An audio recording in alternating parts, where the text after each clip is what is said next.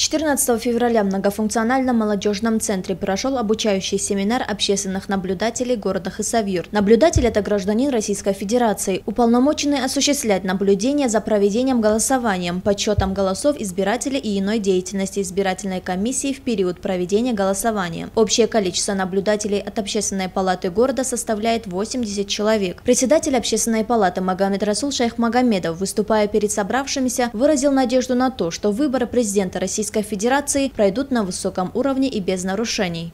Очень грамотно, очень взвешенно, тонко надо работать.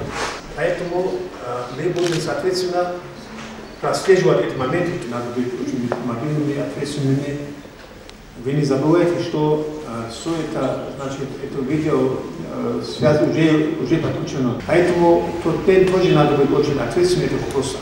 Основной функцией наблюдателя является обеспечение общественного контроля за голосованием, установлением итогов голосования на избирательном участке и наблюдение за соблюдением избирательных прав граждан. Сервер Рамазанов, прошедший обучающий курс наблюдателя в Общественном институте наблюдателей, рассказал участникам семинара о нововведениях в избирательном законодательстве. Чтобы сделать процесс э, наблюдения за выборами более эффективными, э, была создана разработана программа номер 24 а, в частности, записывается «ном» на латинице, то есть не русская «э». А, данную программу можно скачать в Web Store, в Play Market, в принципе она доступна на любых платформах и в дальнейшем ее можно эффективно использовать во время выборного процесса. Что делает наблюдатель, как он действует? Наблюдатель следит за тем, чтобы выборы проходили легитимно, законно и на выборный процесс а, ни одно лицо, заинтересованное, не заинтересованное, не оказало никакого влияния. Ну, мы с вами не хотим, чтобы на следующий день, через день, через три э, начинались всякие холивары в соцсетях.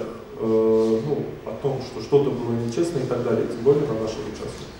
Поэтому с помощью данной программы можно очень эффективно мониторить сам процесс и также в анонимной форме, соответственно, э, после регистрации Э, оформлять жалобы, если такие моменты были. То есть сам, э, сама данная программа предназначена для более эффективного мониторинга общественными наблюдателями избирательного процесса.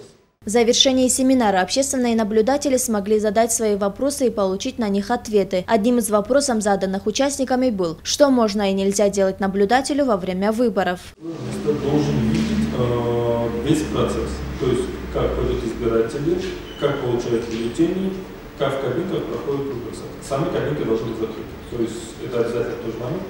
Нарушается принцип э, таймер. А, если данное со своего места невозможно, вы, э, вы до, э, до 8 часов предупреждаете председателя избирательной комиссии, чтобы он данные условия обеспечил. В прошлом году э, наблюдателя, в том числе за нарушение общественного порядка, можно было с участка э, удалить орган правопорядка, том числе полиции. полиции. С этого года официально судебное постановление. Сразу поясняю, это не значит, что когда вас полиция пытается удалить, вы сопротивляетесь, вы носите сопротивление.